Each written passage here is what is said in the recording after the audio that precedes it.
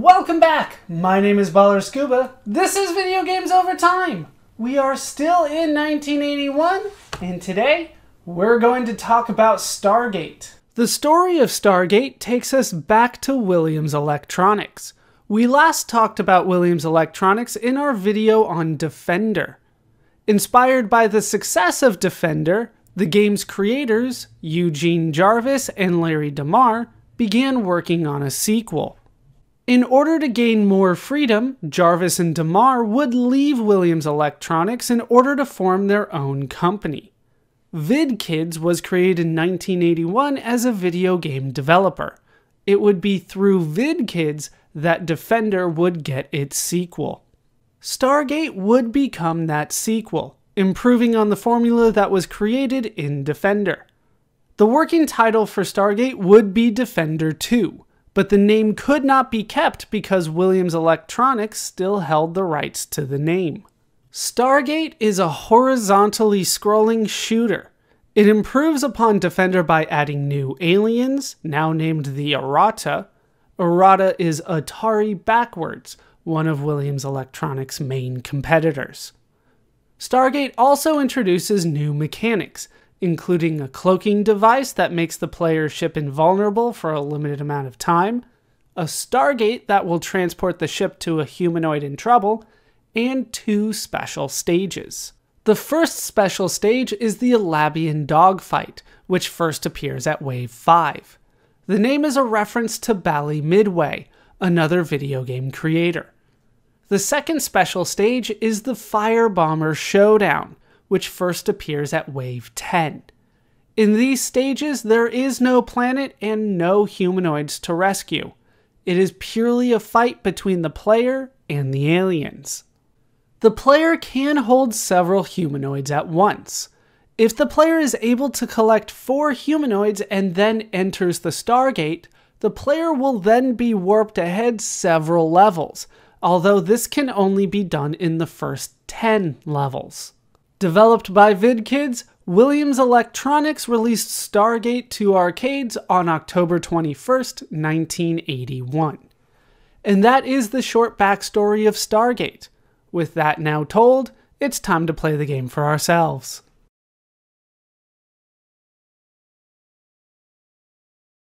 And here we are in the game. This is Stargate. As you can see, my name is prominently displayed on the top of the Immortals list. We'll talk about that in a bit. But this is Stargate. This one is going to be difficult for me. It's a little bit easier than Defender, I would say, but it's still going to be difficult as the difficulty ramps up for me, definitely. Uh, you can see there's a lot more going on on the screen here. Uh, this is a high level uh, play. Um, I'm not going to be able to match that. It looks like they have four there. Yes, they were able to make it through the warp in the demo. Uh, that's not something that I anticipate doing, but we will see what I can do against just the onslaught of enemies that they are going to throw my way. It's very similar to Defender, but starts off easier and then gets harder, in my opinion. So we're going to see how far I can make it. Uh, there are two ways to play this. Let's go ahead and drop a quarter in and we can take a look at both of them. Uh, you can play either a one credit game, uh, which is kind of your standard. You get your three ships, your three smart bombs, and your three Inviso units. Uh, I probably won't be using those to their best effect. We're going to play a two credit game that allows me seven ships, seven smart bombs, and seven Inviso units. That will hopefully help me out quite a bit, uh, but we can see what I can do. Let's put in two quarters and head in. Alright, just kind of shoot, shoot and hope for the best. Ah, they're already coming for me. Yeah, these enemies, they loop from top to the bottom of the screen. I'm not sure the actual logistics of that, the physical ramifications, and I have let a mutant get formed. It's coming for me. We need to go. Alright, the mutant the mutant's still coming for me. Uh, I don't want to I don't want to reverse. I don't like reversing. Alright, so we just have the mutants to go, and they got me. Yeah, all the landers have been destroyed. It's just the three mutants. And then there's one this way. I don't like going this way.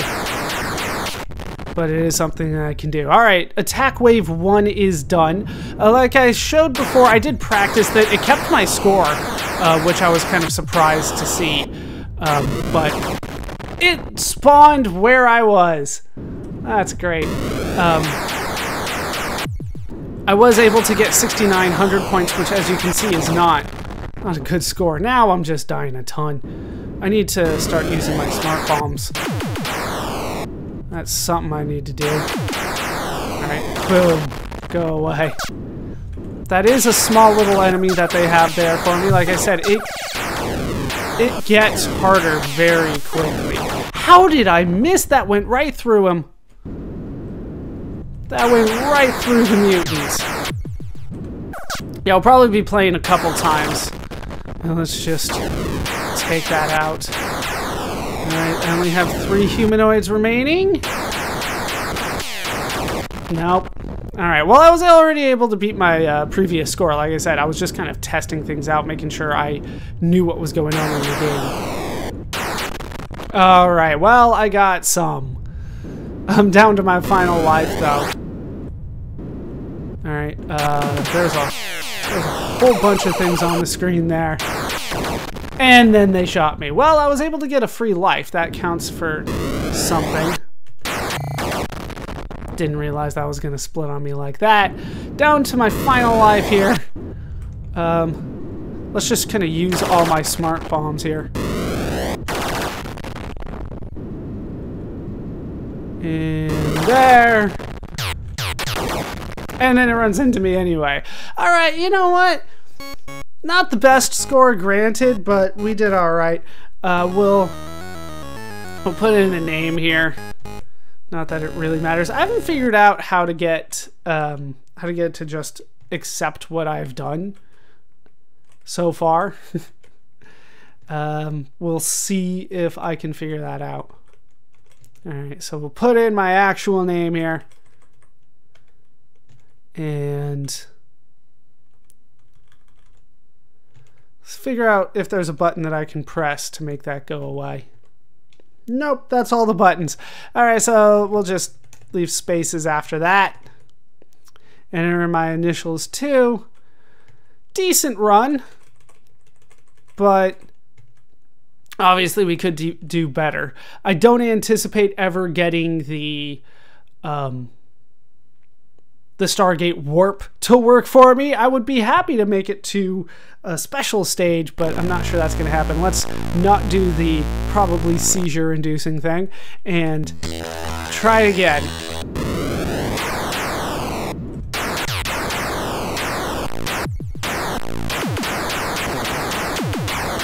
I can't, I can't hit things. It's kind of always been my problem with Defender is that I'm not accurate even when it feels like I should be accurate, it doesn't seem to work the way that I want. Focused on these guys too much, too many mutants are being made over here. Should have hit one of them. Alright.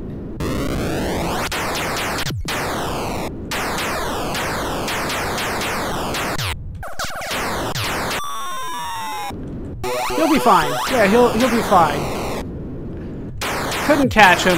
That's the way that I have to do it, though. You have to get four of them doing that.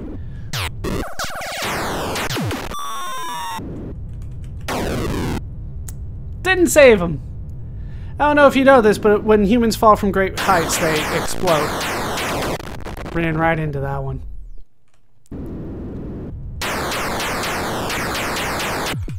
Alright, we got you. No. No. Yeah, these things loop still. Are you still chasing me? You should have been dead. And I killed the human. Killed the human again. Jeez. Alright, um... Yeah, I hate these things. I think those are the Yllabians, right? Which is like bowing backwards. I'm just trying to use more of my of my smart bombs. I haven't really used the invisibility. Wow. All right. Thought I hit him. I was wrong. I have to hold the button. Okay. Yeah, that's gonna be difficult for me. Can I hit him? Alright. Got a free life. Apparently, I'm not only invulnerable, I can hit them and kill them still.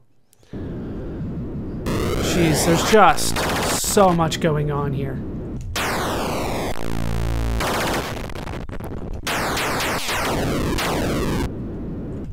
No! Alright, well, I did get a better score. Still not a great score, but a better score. The planet surface is unstable, and all the humanoids have been abducted. That's what that means.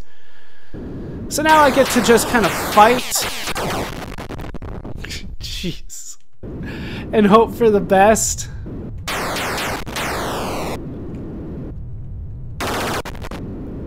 I'm kind of everything. Oh, that's right. They got the splitters. I haven't made it past those splitters yet. Yeah, I'm not particularly proud of that, but I mean that was a better run than before, so I guess we'll put in put in my name for that, sure. We'll put in Baller Scuba here. That should be able to fit. It's like 11 characters new high score. We probably got like one or two more runs left in me. And B S blank. All right, we did it. We got a new high score. As you can see, though, I've barely made the, the list of mortals at the bottom, so they did not anticipate me doing much here. Oh, once again, we have that let's let's get through that. I don't know if that's going to cause any uh, problems for people, so don't want to leave that on the screen too long. I'll put up a warning about that. Yeah, if you guys could not spawn like right where I am, that would help me out.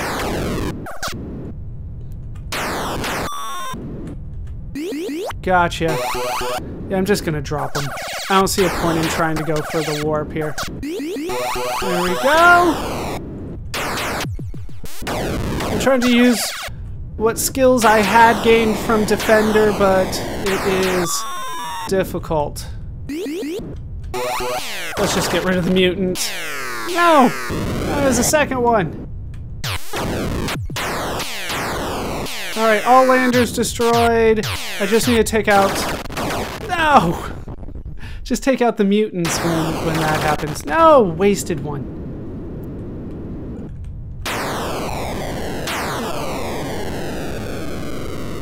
Like, what am I, what am I doing here? Okay, down they go. Let's see what I can do. They're the Yllabians here. Right, just perfect timing on that. I don't think I live long enough for a mutant to be created. Yeah, they just kind of tail you a bit there. And there's the mutant. Yeah, I'm playing worse now. Those things just stick on you.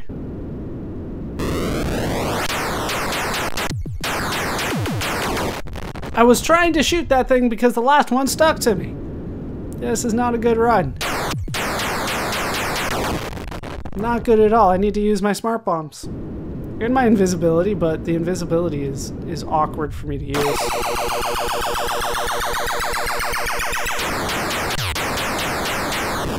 Okay, apparently I can't even take out one enemy like that.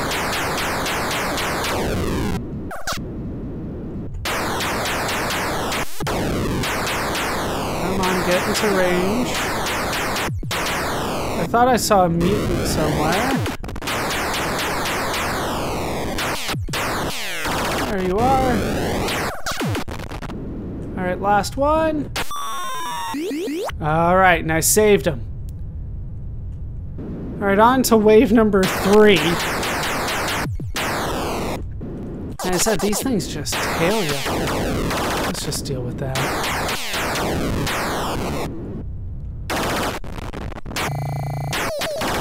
Just defeat that. That's not.